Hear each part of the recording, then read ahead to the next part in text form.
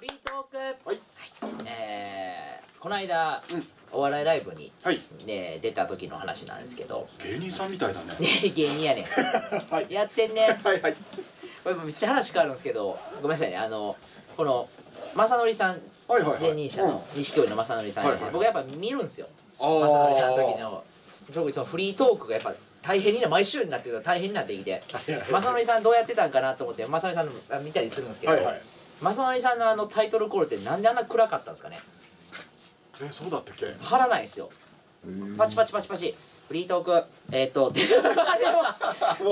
直前誰かに怒られたんかなぐらいテンション低かったんですけど。なんかやっぱりこう段取りで頭いっぱいになっちゃってるあかもしれない。とがさ。僕が見たやつ見てるやつだけかもしれないです。いくつかはそうやったんで。ごめんなさいあのなるほど。ででお笑いライブ出た時の話で、あのまあ始まる前に、まあ、芸人集まって、はい。まあ、場当たりみたいな感じできっかけを確認したりするんですけど、まあちょっと時間が空くんですよさすぐには始まらないんで,、はいはいはい。でのんびり喋る時間があって、はい。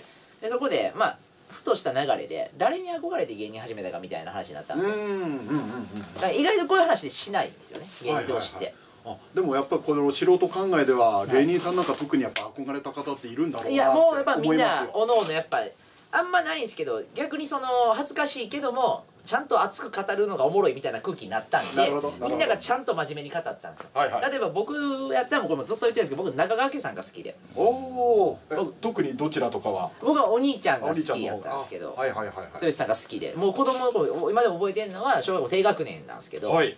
テレビで漫才夕方の番組やってて、うんうん中掛さんが出ててもうあまりにも面白すぎて、うん。あのもう親にも今でも言われるんですけど覚えてるってその漫才もうやっぱ子供ながらにいっぱい漫才見てるから、はい。スピードテンポが速くなってきたらそろそろ終わるって分かるんですよ。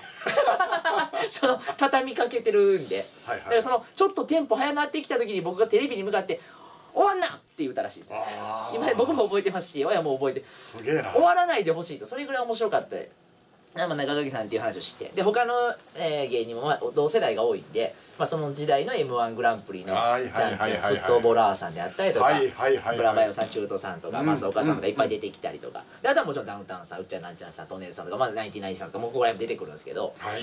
一人ね SMA 同じ事務所のうん。クッボモーニングっていうのがいるんですよ。はあ。はああの ぞ存じ上げない方ですね。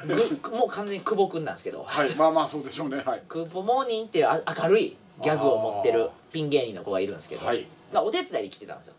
はいわわまだ若手の子で、うん。はい。で、えーまあ、話振って僕らもねうん「クーポモーニングは誰に憧れたん?」って聞いたら「うんうんいや僕はあの誰とかよりテレビ番組なんですけど」って言ってほう「おええやんか、なうん。何の番組?」あのゴッドタンはいはいはいはいはい冷凍のゴッドタンのキス我慢選手権を見て芸人になりたいと思って「お前」ってなって。えー意図が違わねで芸人になったらイチャイチャでえきるっていう。とだってもうみんなが「えもうほんでほんまに言うてる」って言ったらもうめちゃめちゃもうまっすぐなめて「あれ見て芸人やりたいなと思って」って。言って「お前どこがモーニングやねん」って。なってめちゃめちゃ深夜やないかって。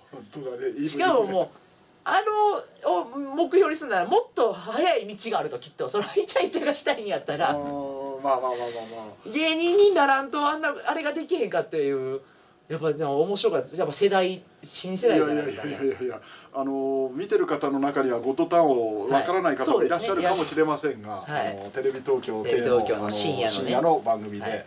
まあ、お笑いはお笑いはお笑いですゴリゴリのお笑い番組で、はいねえー芸人さんが、まあ、あるシチュエーションがあって、まあ、セクシーな女性そうセクシーに女優さんに迫られて、はい。どれだけキスを我慢できるかという。こんな距離でもう完全にキスをしそうなシチュエーションでどんだけ我慢できるかっていうコーナーを見て俺は芸人になるっていうさ。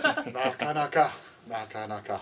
なかなか。まあまあでもそのモチベーションは結構強いモチベーション強いかもモチベーシしれないですね。ョンかもしれない。でも何がやっぱそいつすごいなと思ったかって、最初に聞かれてないんですよ僕らの散々真面目な熱い話を絶対聞いてる上で「あ僕は基礎我慢選手権で」そのメンタルもすごいなと思って。それはなんかすごい天才的なボケとかそういうことではなくて。すいやもういや素で素素ででただ。もう素で本当に憧れて何で僕が始めたかで考えた時のそれやったみたいですね。なるほど、はい。でいろんなやつがいるなっていう話なんですけど。